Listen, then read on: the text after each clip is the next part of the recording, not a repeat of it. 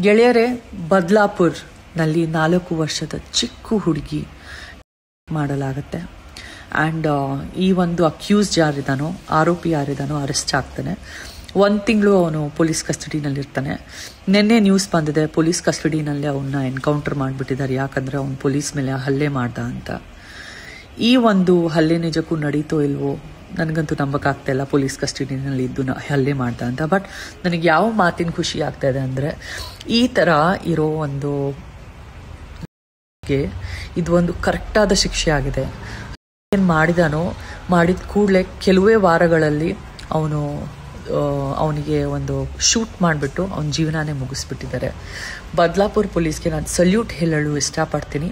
And ಈ ಥರನೇ ನಮ್ಮ ಕಂಟ್ರಿನಲ್ಲಿ ಇನ್ಸ್ಟೆಂಟಾಗಿ ಪ್ರತಿಯೊಂದು ಪ್ರಾಬ್ಲಮ್ಗೆ ಸೊಲ್ಯೂಷನ್ ಸಿಕ್ಕಿದ್ರೆ ನಿಜಕ್ಕೂ ಈ ಅನ್ನೋ ಒಂದು ದೊಡ್ಡ ಪ್ರಾಬ್ಲಮ್ಮು ನಿಂತೇ ಹೋಗುತ್ತೆ. ಏನು ಹೇಳ್ತೀರಾ?